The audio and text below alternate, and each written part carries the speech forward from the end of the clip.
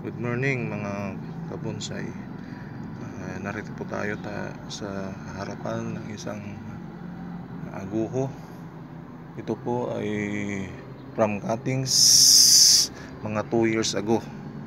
Mahigit na. Ah, napansin nyo, mga 1 inch mahigit na ang pinaka ah, trunk niya.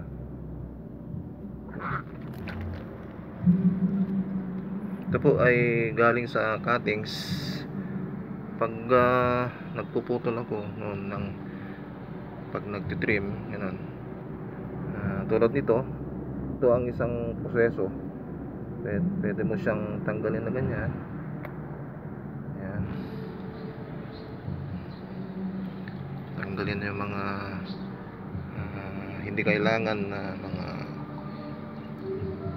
tumutubong ano, sanga. Ito po ay itatanim po natin mamaya. Tulad nito, ah, itatanggal natin yung mga hindi kailangan na.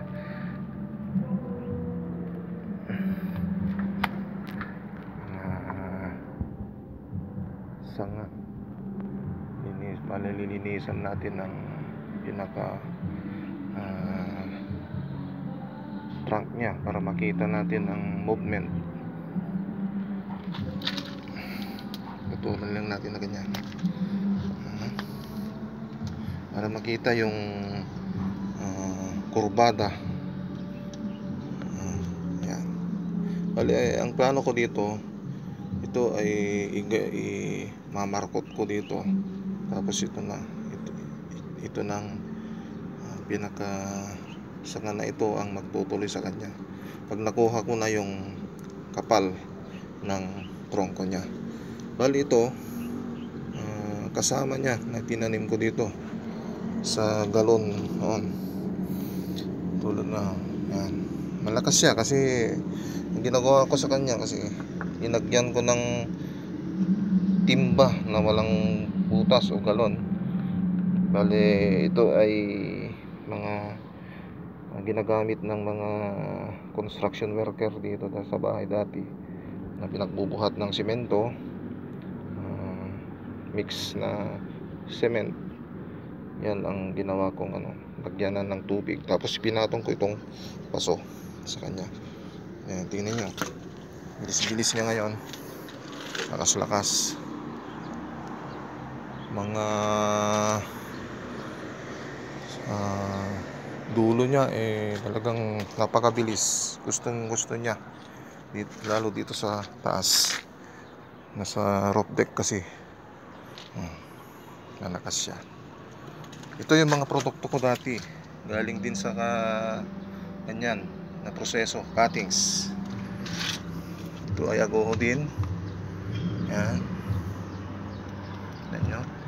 Nawire ko na siya. Pero dito sa pinakadulo niya medyo nagkasugat kasi dati. Kaya nilagyan ko ng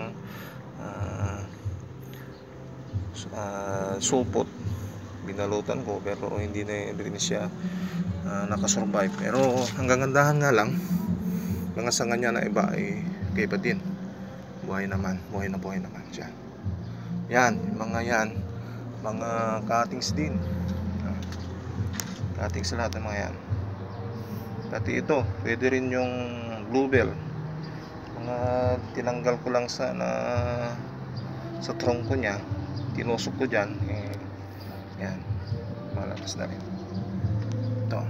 Mahilig kasi ako sa mga cuttings. Tulad nito, argaw.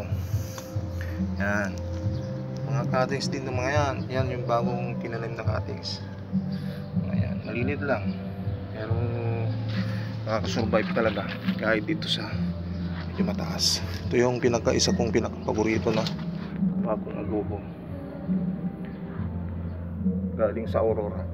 Bali itong mga tong aguho na to ay isang pinanggalingan. Aurora.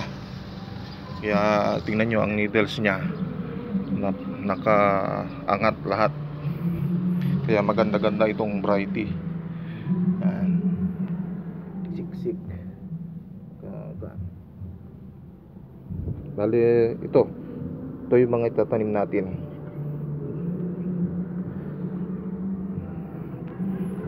Ganito siya dati. Nung nagtanim ako, mga ito, ganito lang siya. Mga tinanggal ko lang na mga hindi kinakailangan ng mga sanga sa materials ko noon sa Ilocos.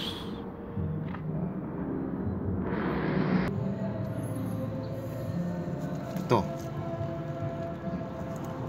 Mga bonsai. Ang ginagawa ko dito, pag marami siyang mga dahon-dahon, mga ganyan, tinatanggal. Tanggalin mo lang. Pinakait mo ba niya? Kahit mga yan 2 to 3 inches para pag itinusok mo ay maganda, hindi siya nauuga. Yan. Yan siya. Tanggalin mo lang yung pinakailalim na mga dahon-dahon niya. Ito rin. Tanggalin. Tanggalin lang mga lakban. Ayan. Ay din ng ganitong kaliit. Bubuhay siya. So tanggalin mo lang yung mga dahon. Yan. Mga 2 inches. Ang tatanggalin. Ito. Tanggal lang. Yan. Tanggal lahat. Yan. Ito, oh. lalagay natin ito. Bali, ito na yung mga itinanim ko. Ang ginagamit ko lang, ganito lang. Mga timba lang na may magandang drainage. Yan, oh, tingnan nyo. May mga ugat na, sumisirit na sa baba. Yan. Tutusok mo lang na ganyan. Tusok mo lang. Yan. Napakabilis na buhayin nito. Basta wag mo lang siyang pababayaan diligan. Dapat ah, basa siya. Basa dapat. Kahit 3 times mo siyang diligan sa isang araw. Ang sikreto lang, basta yung ah, mabilis bumaba yung tubig pagka nadiligan na. Yan. Tusok ko lang na ganyan, dahan-dahan. Yan. Mga to. Ah, tingnan nyo, pansinin nyo. Buhay na mga to. Buhay na buhay na. May ugat na mga yan. Yan. Noong mga 3 months ago, tinusok ko mga to. Pansin mo, dito sa pinakadulo niya, eh, medyo ah, umaalagwa na. Yan. Kaya yan, may mga espasyo pa kaya naglalagay pa rin ako para nakatip, nakatipid ako ng ano ng paso saka ng lupa. Mga iba hindi rin pinarad, pinadat, pinalad ito. May mga namamatay din. Pero karamihan yan nabubuhay.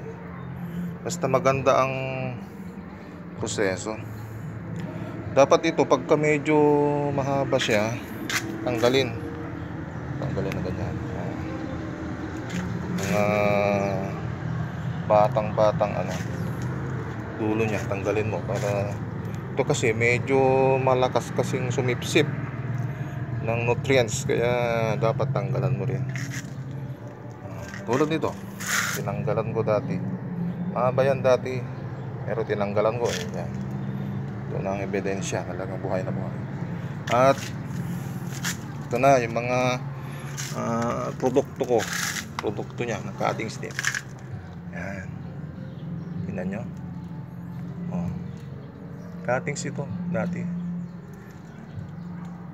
Mga kuan na rin ito. One year na rin sa akin. Binalutod ko na ni winire ko na siya. Yan.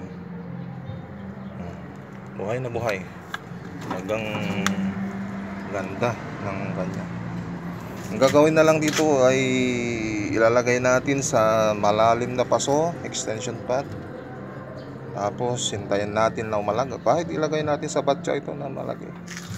Ito pa. Mga cuttings lahat ng mga yan may pre-pan na ano Texas ito pa yung isa Bali ito ginawa ko mahilig din kasi ako sa mga forest triple track isang kuan ito isang isang lang pero lakas na oh. Yan. Ito na ebidensya. Talagang noong mga 3 months ago na winire ko yan. Medyo nak- kinakain na niya yung wire. Oh. kaya lang ho. Gagawin lang natin magtanggal tayo. Tulad nito pwede rin itong tanggalin. Tanggalin natin ganyan. Yan lang. Tapos ah, alisin natin yung pinaka ibabang mga dahon. Mga 2 inches lang ang titira iwan natin. Tapos itutusok natin baling gagamitin natin ay no, purong buhangin. Medyo matagal-tagal na rin kasi lumutong na yung kanya. Um, bote kasi dati ng soy ito. May magandang drainage. Ah, may drainage na medyo malaki-laki rin tapos meron siyang screen. Bale, ito 1 inch na graba yung medyo magaspa-gaspang na graba yon ang nilagay sa pinaka, pinaka drainage niya. Tapos buhangin, purong buhangin na yan. Yan. Yun yun lang. Tutusok mo lang na ganyan. Para hindi naman masya, hindi naman ma sasaktan. Nagamit ka ng stick. Ah, tulad nito. Welding rod stick. Ginamit ko. Tapos sasaksak natin sa pinagtusukan natin yan. Para bumaon na maigi. Ah. tapos diligan na natin. Ayan. diligan na. Diligan diligan lang ng mga 3 times sa isang araw. Basta mabilis siyang bababa ah, yun pansin nyo. Bilis na bumaba yung tubig yan po nagtatapos ang ating ah, share sa inyo.